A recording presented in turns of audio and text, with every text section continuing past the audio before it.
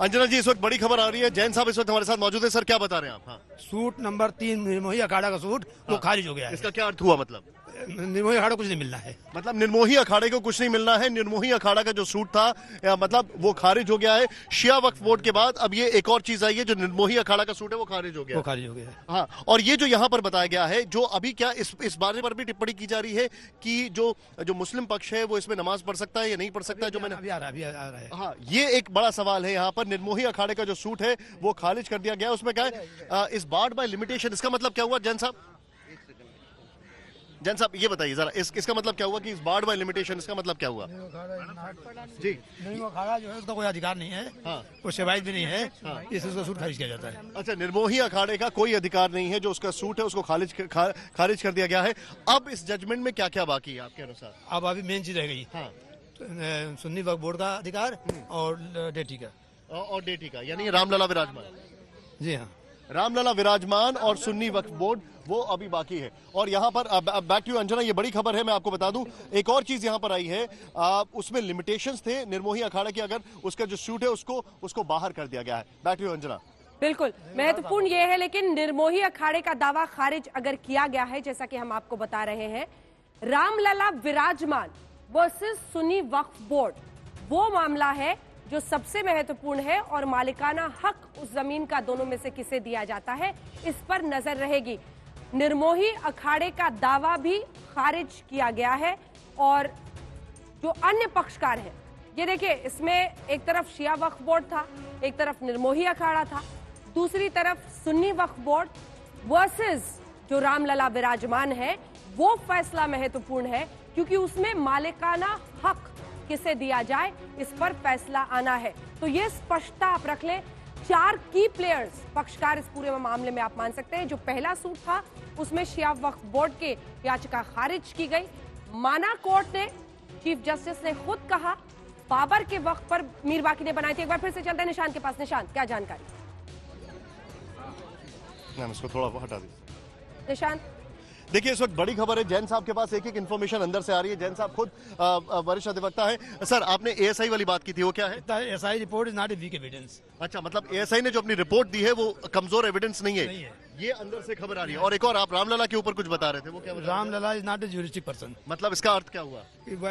विधिक व्यक्ति नहीं है। अभी आगे आने दीजिए बताता हूँ। अच्छा यानी कि देखिए अंदर से जो जो जानकारी आ रही है अंजना हम आपको बीच बीच में बीच में इंटरप्ट करके अपने दर्शकों को बता रहे हैं एएसआई ने जो जो एविडेंसेस दिए हैं उसको एवेल्युएट किया है और वो काफ़ी मायने रखते हैं उसको आप रिजेक्ट नहीं कर सकते। Number one number two Ramlalla जो है उसको आपने क्या बताया था? रामलला के S I report to be valued by court हाँ। कोर्ट अच्छा। The Sunni Board said it was uh, Idgah quite contrary to the pleading. Sunni board का कहना कि ईदगाह था वो उनकी प्लीडिंग के खिलाफ है। अच्छा। अब इसका क्या मायने निकाला जाए? उसकी प्लीडिंग के खिलाफ क्या मायने क्या निकाला है? आगे आने थोड़ा। मतलब नहीं है यानी कि ईदगाह नहीं था। वो। ईदगाह नहीं था वो। ईद का नहीं था। अच्छा तो अंजना देखिए एक एक इन्फॉर्मेशन आ रही है हम आपको एक एक इन्फॉर्मेशन बता रहे हैं तो बीच में थोड़ा सा इंटरप्शन आ रहे हैं उसके लिए मैं दर्शकों से माफ़ी चाहूँगा। बाबरी मस्जिद वैकेंट लैंड पर नहीं बनाई गई थी।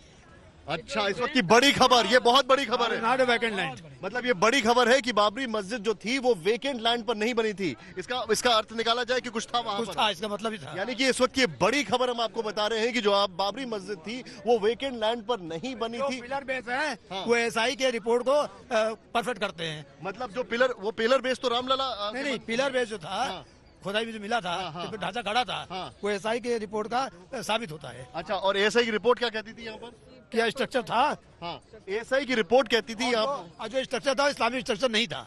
यानी कि एएसआई की रिपोर्ट कहती है आर्कोलॉजिकल सर्वे ऑफ़ इंडिया की कि जो वहाँ पर स्ट्रक्चर था वो स्ट्रक्चर जो था वो इस्लामिक नहीं था। मॉस्क जो था वो वेकेंट लैंड पर नहीं बना था। यानी कि ऑलरेडी वहाँ पर कोई स्ट्रक्चर था जिसके ऊपर ये बना है। यहाँ पर जैन साहब एक एक जानकारी ए- एक एक इन्फॉर्मेशन यहाँ पर देते हुए खैर मैं चाहूँगा थोड़ा केम हम फ्रेम जो है वो हमारी तरफ़ शिफ्ट किया जाए ये जानकारी आ रही है। यानी कि ये सब किस दिशा में जाता हुआ दिखाई दे रहा है आपको?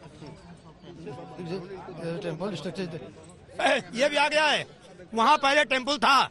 ये भी आ गया इस वक्त की एक और बड़ी खबर। वहाँ पर पहले टेंपल था ये भी आ गया है। जहाँ पर जहाँ पर तथाकथित मस्जिद बनी थी वहाँ पहले एक मंदिर था।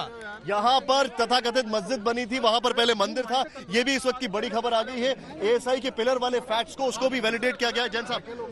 ये ये ये ये सब जो चीज़ें आ रही हैं ये बता रही हैं कि मंदिर की तरफ़ ये इंगित कर रहा है। जी हाँ जी हाँ। पहला मंदिर को इंगित कर रहा है। ये सारी जो चीज़ें आ रही हैं जैन साहब का ये कहना है ये मंदिर की तरफ़ इंगित कर रहा है। लेकिन ये जो इन्फॉर्मेशन अंदर से आ रही है वो एक एक इन्फॉर्मेशन हम आपको बता रहे हैं। और एक एक इन्फॉर्मेशन हम आपको बता रहे हैं। थोड़ा पीछे हट जाइए प्लीज़ मैम प्लीज़ नारेबाजी नहीं चलेगा। बड़ी खबर इस वक्त की जो आज तक पर आप देख रहे हैं बाबरी मस्जिद खाली ज़मीन पर नहीं बनी थी। आर्कियोलॉजिकल सर्वे ऑफ़ इंडिया ने अपनी रिपोर्ट में मंदिर की बात कही है और आर्कियोलॉजिकल सर्वे ऑफ़ इंडिया के पुरातात्विक सबूतों को हम स्वीकार रहे हैं। खाली ज़मीन पर बाबरी मस्जिद नहीं बनी थी। एएसआई ने अपनी जो जानकारियाँ दी हैं, उनको तरजीह देते हुए, उनको स्वीकारते हुए ये बड़ी खबर इस वक्त की हम आपको आज तक पर बता रहे हैं। खुदाई में जो मिला, वो इस्लामिक ढांचा नहीं था। खुदाई में जो मिला, वो इस्लामिक ढांचा नहीं था। ये बात किस तरफ़ बढ़ रही है? ये कंक्लूसिव तरीके से। कहने से पहले थोड़ा सा परहेज रखने की ज़रूरत है, लेकिन संकेत साफ़ है। एएसआई ने मस्जिद का ज़िक्र नहीं किया है। बाबरी मस्जिद खाली ज़मीन पर नहीं बनी थी। निशांत, आगे की जानकारी, निशांत। निर्मोही अखाड़ा को सिबात नहीं माना है। निर्मोही अखाड़ा का कुछ भी नहीं माना है। नंबर एक बात। S I S I report की वैल्यू है। एस आई रिपोर्ट जो है वो कहती है कि वहाँ नहीं लेकिन आप हिंदू मानते हैं वो राम जी का जन्म स्थान है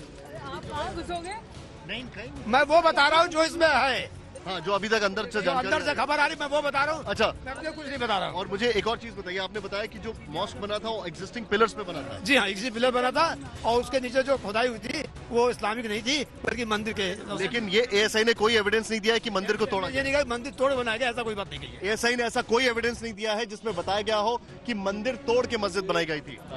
लाडरा में अयोध्या पैदा हुए थे डिस्प्यूटेड नहीं है। ये डिस्प्यूटेड नहीं है। ये एक और बड़ी खबर हम आपको बता रहे हैं ये डिस्प्यूटेड है ही नहीं कि भगवान श्री राम अयोध्या में पैदा हुए थे ये डिस्प्यूटेड है ही नहीं।